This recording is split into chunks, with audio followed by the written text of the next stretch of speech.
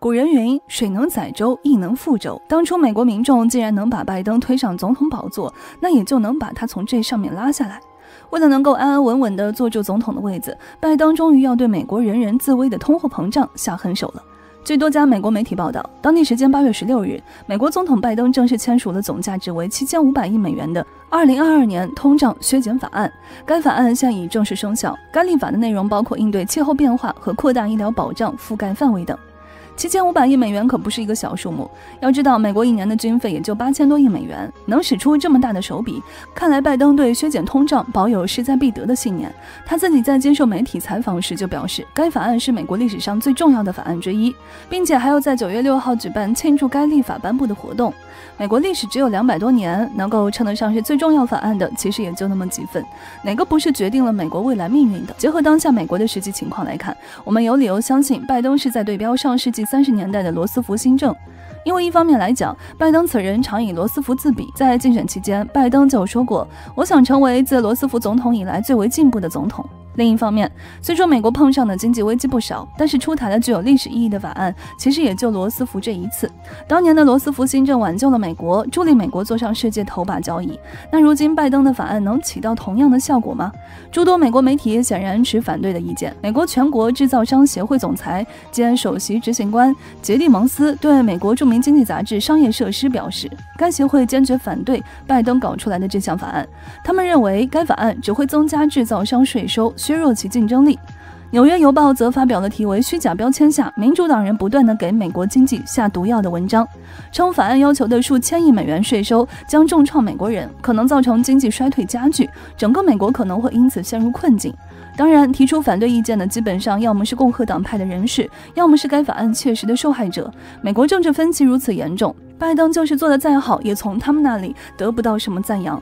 那么，拜登雄心勃勃的法案，最重要的法案，值得专门庆祝的法案，到底有没有效果呢？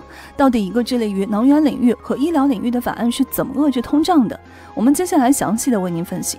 我们先来看看拜登的新政的具体内容都有什么。七千五百亿美元，钱从哪里来？这是首要的问题。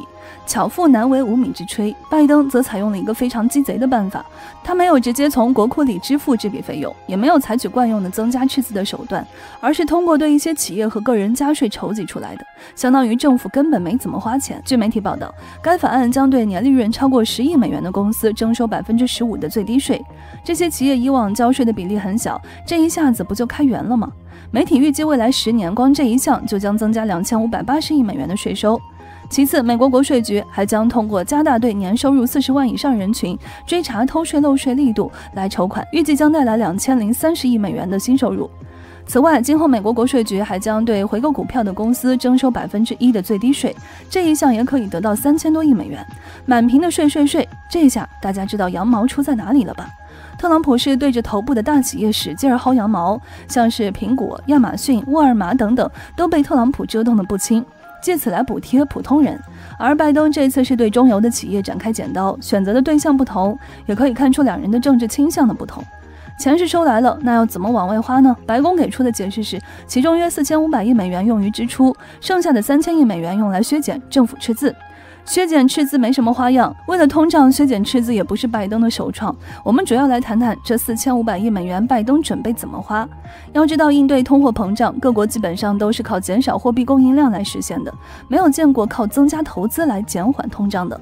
从法案内容来看，这笔钱有三千六百九十亿是用于能源安全和气候投资，给风能、太阳能等清洁能源领域大量的税收优惠，包括电动汽车在内的领域也得到了拜登的垂青。此外，拜登还将给医疗领域拨款六百四十亿美元，用来补贴平价医疗法案和降低处方药的价格。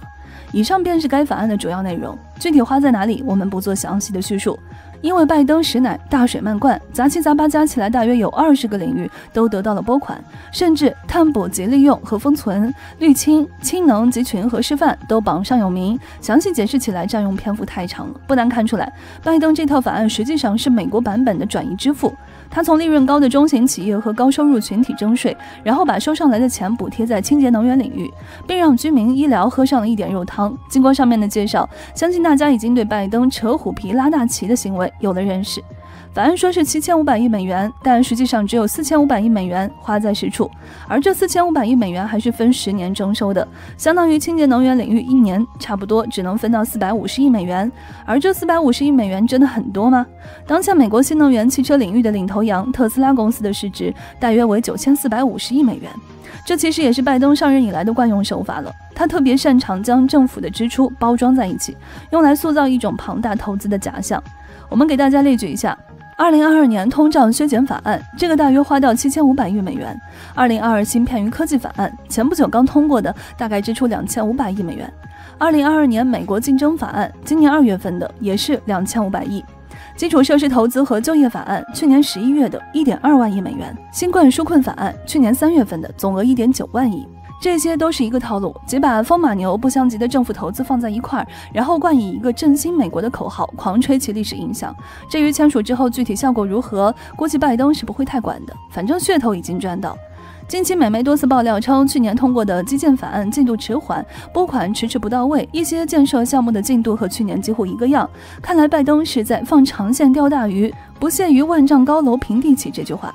这次七千五百亿美元的二零二二年通胀削减法案，很难说不是这个下场。一个以十年为项目周期的计划，期间必然会赶上总统换届、国会洗牌，拜登能不能连任都不好说。到时候谁来为这个计划担保呢？即便法案能够顺利落地，我们也不能说它是有切实有效的。两个问题摆在前面，一个是每年四百五十亿美元的投资能否壮大美国的清洁能源行业，另一个是这四百五十亿花出去能否降低通胀。第一个问题很好回答，那就是投资还远远不够。要知道，该法案投资的领域有将近二十个，平均下来一个领域每年才能分到二十多亿美元。虽说它不是平均分配的，但是这也可以看出来其捉襟见肘的程度。在新能源领域，相比中国来讲，美国本就没有什么大的优势，连吃老本的资格都没有。又搞出来这样一个大水漫灌的计划，最后势必出现什么都搞了，但又什么都没有搞好的情况。第二个问题也是同样的逻辑，拜登这个法案制止通胀，其实就想通过加税来抑制热钱流动，然后把这笔钱用来降低赤字，并增大能源领域的投资。进而从根源上缓解当下严重的通胀，但问题是，这七千五百亿美元是分十年收上来的，每年就算能收七百五十亿美元，那又能对当下的局势有多大缓解呢？况且美国政府就算是再怎么无能，也不至于让通货膨胀持续多年。一个持续十年的遏制通胀的计划，拜登是打算把下届总统的活也干了吗？拜登这项雄心勃勃的法案不能说没用，只能说对当下没什么用。至于十年之后有没有用，估计拜登本人都不知道了。他今年都八十了。说穿了，这份法案政治上意义大于其经济上的意义。拜登迫切需要一点政绩来挽救民主党的中期选举和自己的下一轮任期。拜登上任也一年半了，这一年半时间里，他基本上没给美国人带来一点好消息。从阿富汗撤军以及撤军时的乱象，彻底丢干净了美国在中东、中亚的脸。俄乌战事时不敢越雷池一步的态度，更让诸多北约盟国寒心。解放军绕台军演后，美国只敢放几句不咸不淡的话，韩国立马主动和中国接触，甚至连拜登本人抛下脸面去沙特求情，沙特也无动于衷。而在国内，拜登同样干的也不怎么样。几天前，FBI 搜查特朗普的私人住宅，引发了其支持者对于当下美国政治的强烈不满。他们甚至在社交媒体上狂刷第二次内战。更早一点的时间，美国最高法院正式宣布禁止堕胎，社交媒体上更是闹翻了天。对于任何一个美国民众来讲，现在美国出现了种种乱象，不找你拜登还能找谁呢？一年半时间几乎尺无寸功，拜登也难有继续下去的政治资本。因此，当下的拜登就算不为了总统连任，也要为十一月的国会中期选举做一些能提振民主党支持率的事情，不然民主党必然大败。一旦输掉中期选举，那剩下的两年时间，他也不要指望能从共和党控制的国会手里通过什么法案了。所以拜登才又搞出来这么一个庞大的法案。其实这项法案叫新能源补贴计划更加合适，但拜登就是要把它包装一下，叫一个削减通胀的名字。美国老百姓又不一定立刻就买新能源汽车，但是他们一定深受通货膨胀的困扰。不管怎么说，这起码也是拜登的一项政绩。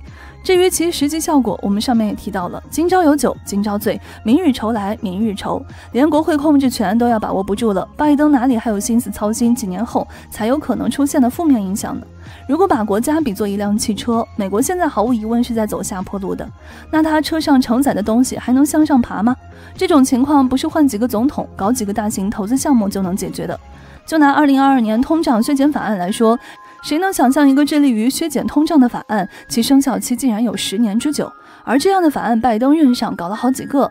当美国不和过去独步天下的自己比，而是跑来和中国锱铢必较的时候，他就已经掉进历史周期率的怪圈，再怎么遮掩也无济于事。